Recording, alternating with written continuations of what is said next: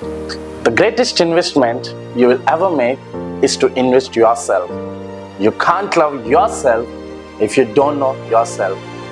The best way to know yourself is meet with you. So talk to yourself and invest yourself. Thank you.